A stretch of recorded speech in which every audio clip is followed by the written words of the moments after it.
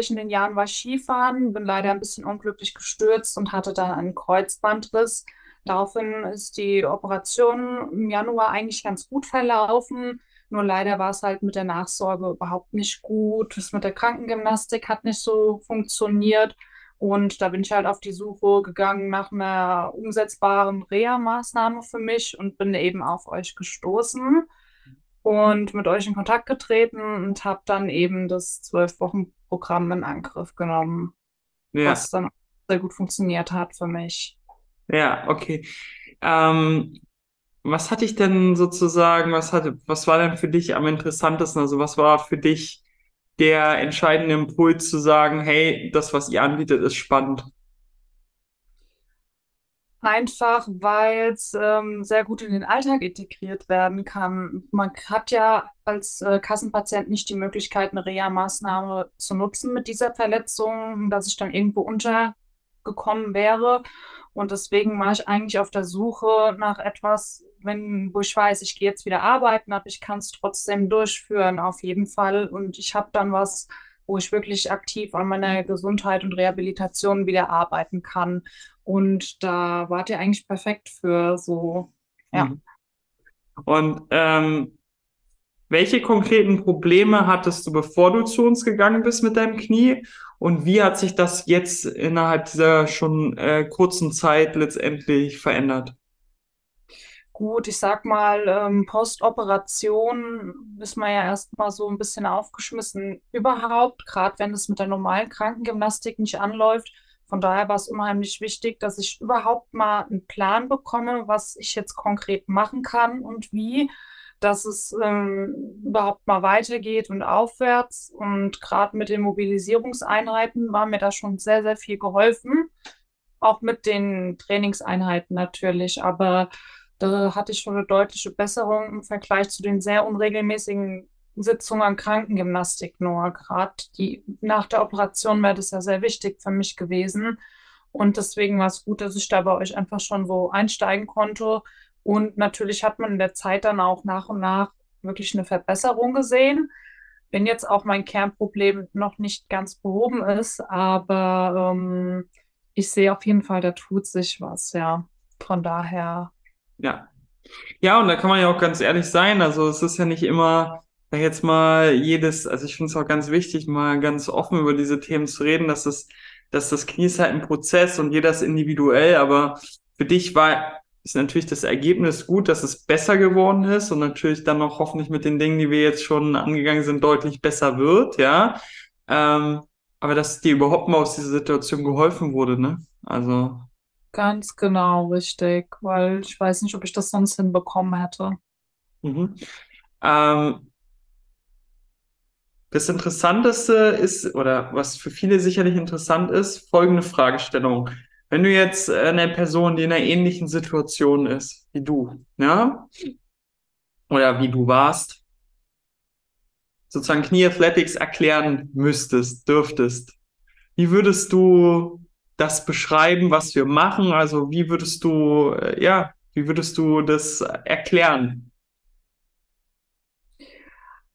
Also im Grunde genommen, es ist wie eine Reha, aber online. Und klar, auch mit ein bisschen mehr Eigeninitiative, da muss man dann schon ein bisschen einen Willen zeigen. Das ist klar und diszipliniert sein, um das durchzuführen. Aber ich würde halt auch sagen, dass da eigentlich keinen Grund zu Sorgen gibt, weil viele ja dann eher so Bedenken haben.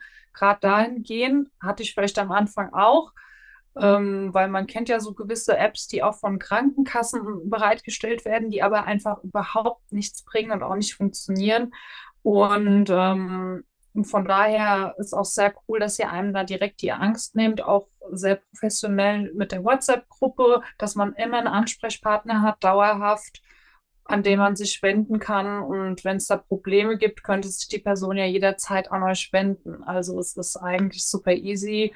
Und ähm, ja, man hat ja auch die, Video, äh, die Videos von euch, die Pläne kann man einsehen, jederzeit nachgucken, wenn man was nicht weiß, fragen.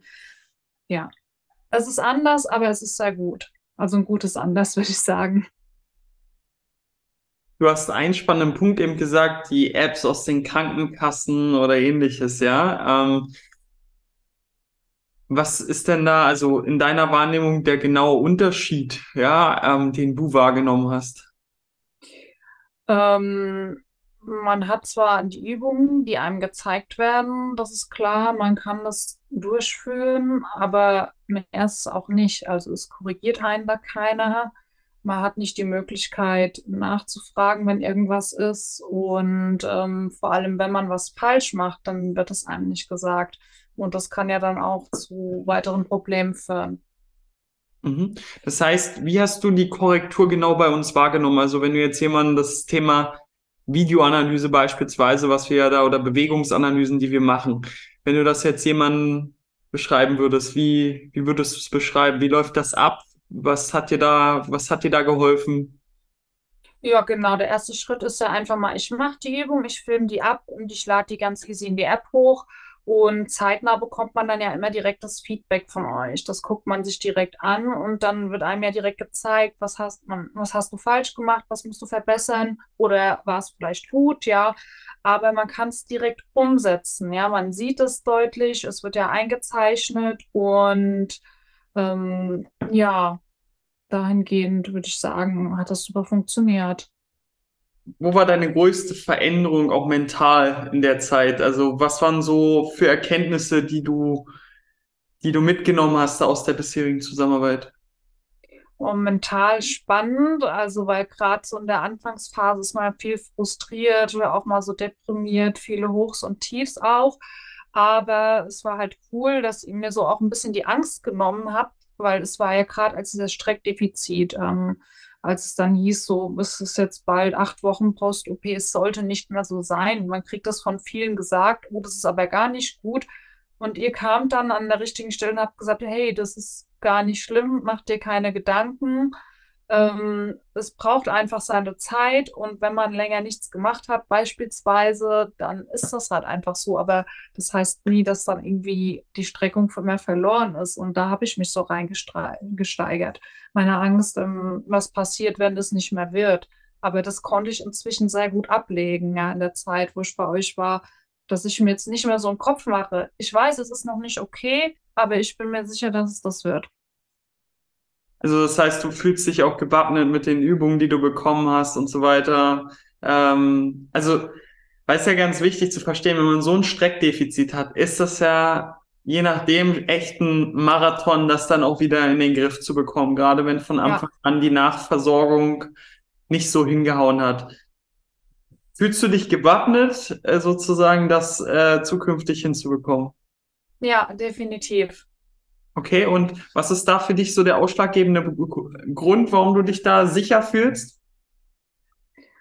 Äh, ja, das liegt tatsächlich an der Betreuung und diese Sicherheit. Ja, wenn man das von vielen dann gesagt bekommt, ja, Leute, ihr seid Leute, die ihr kennt euch aus, ähm, mit Knieverletzungen insbesondere und ich hatte auch schon schlechtere Erfahrungen, ja, dass man gerade von Ärzten oder anderen irgendwie dann Kommentare bekommt. Ähm, also ein Beispiel, das ich hatte, mir wurde gesagt, ja, das ist eine Katastrophe, wir machen weiter Krankengymnastik. Von meinem Arzt kam das. Und da denkt man sich so, danke. Also der hat einem oder hat mir das Gefühl gegeben, dass das meine Schuld ist, dass das jetzt nicht so funktioniert. Und ich denke, jemand, der in einer ähnlichen Situation ist wie du, der kann da extrem viel schon daraus nehmen, dass man eben vor allem nicht äh, in dieser Angst bleibt, sondern eben Maßnahmen ergreift, um das Ganze eben entsprechend auch äh, anzugehen. Ne? Genau. Das heißt, wenn du jetzt so mit drei Wörtern beschreiben müsstest, wie fühlt man sich bei uns äh, betreut zu werden oder Klientin zu sein?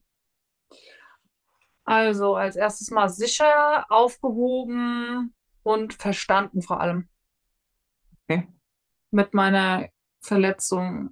Also ja, ich habe mich einfach gut aufgehoben gefühlt bei euch und ähm, ihr versteht, wie es ist, wenn man in so einer Situation ist. Und da kann einem generell schon besser geholfen werden, ja. So mein Eindruck. Ja, ja, mega. Dann würde ich einfach vorschlagen, noch eine letzte Frage. Wenn wir fast nicht zu ja. lang machen. Wem würdest du das Ganze empfehlen? Also, wem würdest du empfehlen, mit uns zusammenzuarbeiten und vor allem warum? Also natürlich insbesondere gerade Leuten, die in der Situation, in derselben oder ähnlichen sind wie ich, ja, dass sie eine Knieverletzung haben, vielleicht mit oder ohne OP, was auch immer. Da gibt es ja verschiedene Varianten, sage ich mal. Ähm, da wird dann wirklich gut geholfen.